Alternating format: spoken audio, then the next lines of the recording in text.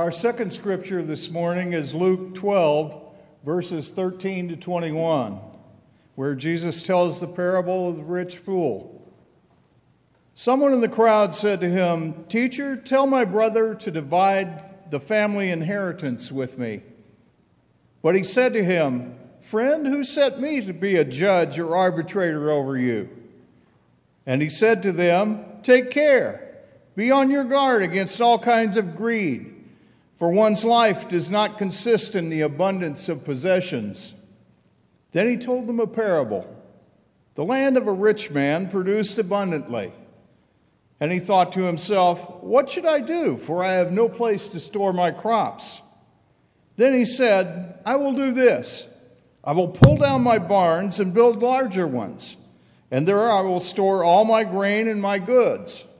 And I will say to my soul, Soul, you have ample goods laid up for many years. Relax, eat, drink, be merry. But God said to him, You fool, this very night your life is being demanded of you. And the things you have prepared, whose will they be? So it is with those who store up treasures for themselves, but are not rich toward God.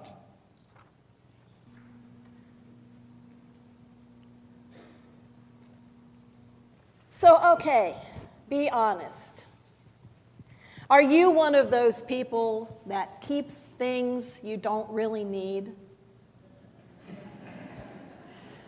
Old greeting cards, gadgets, trinkets, souvenirs, things that don't even work anymore? I know. Maybe, like me, you grew up hearing waste not, want not. Or maybe that TV show Hoarders, maybe that's about you. I'm sure somewhere I have books from high school. Not all of them, just the ones that I thought I might need again someday. And I know we have books from college and seminary and graduate school, plus the ones we keep buying the late comedian George Carlin calls that our stuff. In Luke's gospel, we find this parable about a farmer who accumulates stuff and plans to build a bigger barn to store not only his grain, but his goods, his stuff. Jesus is addressing a crowd of disciples and others when a man interrupts him and asks him to make his brother divide the family inheritance with him. Now, in those days, it was not uncommon to ask a rabbi to settle family disputes. The request probably came from a peasant, as wealthy families would not have resorted to seeking advice from a wandering teacher. But Jesus refuses to enter a family squabble smart, and instead uses the situation to teach about greed. The farmer in the parable was not a criminal or a thief, but a rich person making provision for a comfortable future. Jesus calls him foolish not because he makes provision for the future, but because he believes that his wealth can secure his future. Jesus cautions the crowd not to aspire to be like the rich, who will soon realize that they don't even control their own lives. There is no clearer pronouncement of the old adage, you can't take it with you, than in the voice of God in this parable. You fool, this very night your life is being demanded of you. And the things you have prepared, whose will they be? So it is with those who store up treasures for themselves, but are not rich toward God.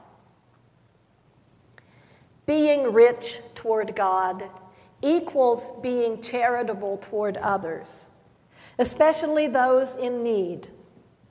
Jesus often showed sympathy for the poor and discussed with wealthy people who didn't display any concern for them. In fact, Luke could have repeated here a statement Jesus had made a couple of chapters earlier. What does it profit them if they gain the whole world but lose themselves? And lest you think Jesus isn't talking about us, from a global perspective, every one of us is wealthy. My grandparents were born in the late 1800s. And I can remember going to their house and finding stockpiles of all kinds of goods, much more than they would ever be able to use. They particularly like to collect peanut butter and canned peaches.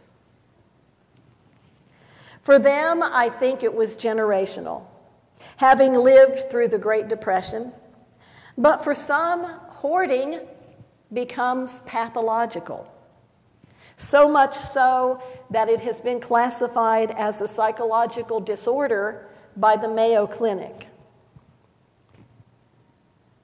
But Jesus calls it greed and suggests that it not only disregards the needs of others, but puts goods in the place of God. When we think only in terms of what we can get rather than what we can give, we are worshiping something other than God. But some who ought to know better still don't get it. Preachers of the gospel of happiness and prosperity fill the airways. They attract millions of viewers as well as millions in financial support. If you just send them your money, you will be blessed with great abundance. In their prosperity gospel, Jesus becomes the good friend who wants you to succeed. United Methodist Bishop William Willimon calls that a sort of sanctified form of Prozac. He doesn't see Jesus as that good friend who helps you get what you want, but rather as a constant challenge to what you think you want and need. Jesus' version of prosperity theology is to keep wealth in its proper place. Now, Jesus never says we can't enjoy the good things of life. He certainly did, and was supported by fairly wealthy women and others. He even gained a reputation with the Pharisees for overindulging. He enjoyed life, but he did not allow himself and his disciples too much in the way of material possessions. Jesus never says, beware of material things. He also does not say that being wealthy is wrong. True, he has said some pointed things about wealth, but the real culprit is greed. His warning is really to be careful that your possessions do not possess you. German theologian Dietrich Bonhoeffer wrote Earthly possessions dazzle our eyes and delude us into thinking that they can provide security and freedom from anxiety. Yet all the time, they are the very source of anxiety. There is a trend these days toward downsizing and simplifying our lives. Have you seen the tiny houses? Could you live in one of those? I'm talking to you people with big TVs.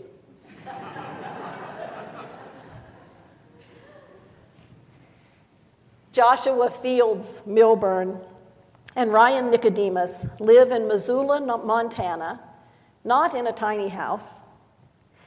They are known as the minimalists, and they write a blog about living a meaningful life with less stuff. Their blog has 4 million viewers, readers. This past week, in an interview on NPR,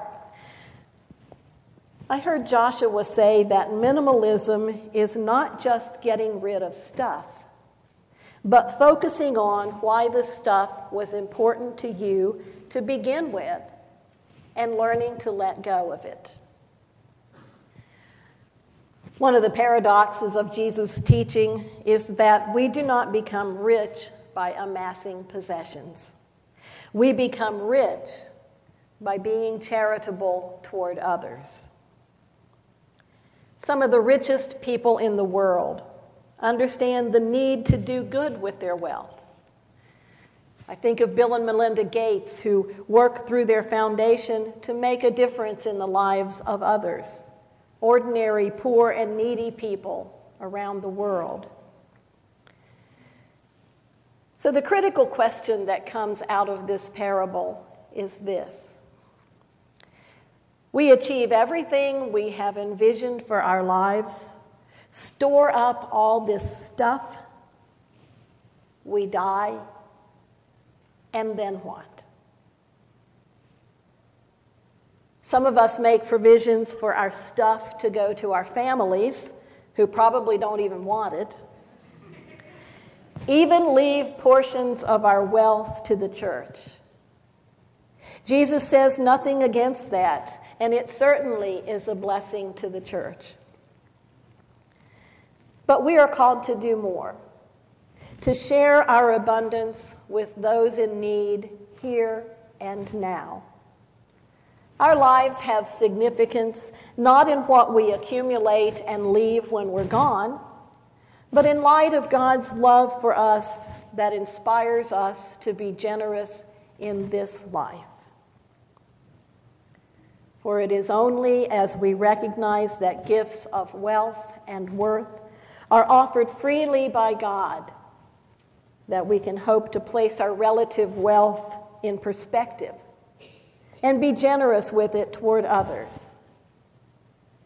And then, perhaps what we will need is not bigger barns, but bigger hearts. Amen.